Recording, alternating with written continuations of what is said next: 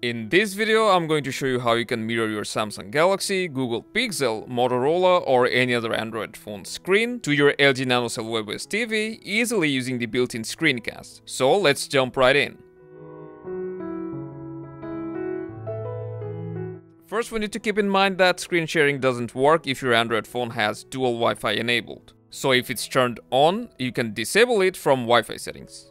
Also, you won't be able to use Screencast if you're using mobile data or hotspot. Also, it's recommended to connect both your phone and your TV to the same Wi-Fi network, even though we didn't face any connection issues while using different Wi-Fi network.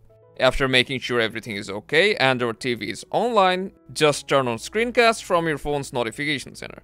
If you don't see it here, then tap on the pen or edit icon and from the list look for an icon with a square and a Wi-Fi logo. This is our screencast icon. So we will drag it to the top and then we can turn on screencast.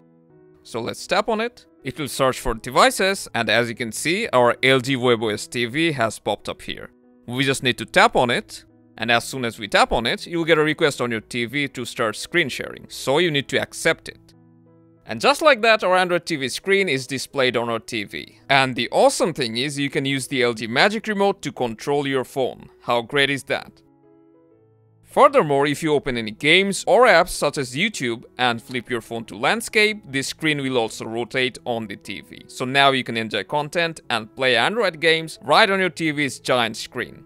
And whenever you want to stop screen sharing, you can just press the home button on your LG Magic Remote or you can turn off screen sharing from your phone. And that's all there is to it. Make sure to leave your feedback and enjoy screen sharing.